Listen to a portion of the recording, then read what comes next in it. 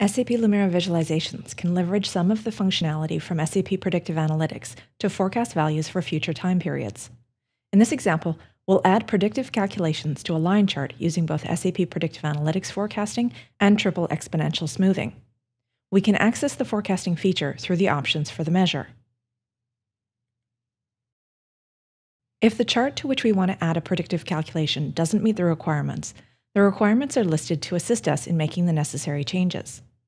We'll remove the dimension from the color shelf, change the level for our time dimension, and change to the basic line chart.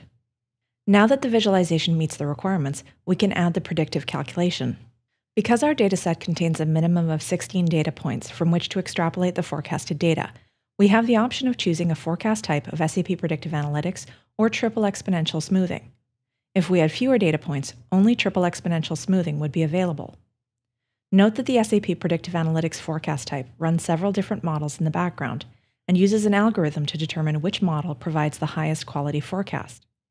In this example, we'll add both types, forecasting the next three months, so that we can view the difference between the options. Note that a second line is added to the chart. Now we'll repeat the process for the other forecast type.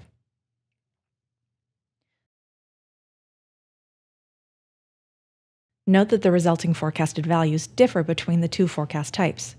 Refer to the online documentation to determine which model is best suited for different scenarios. Visit the SAP store to download SAP Lumira free today.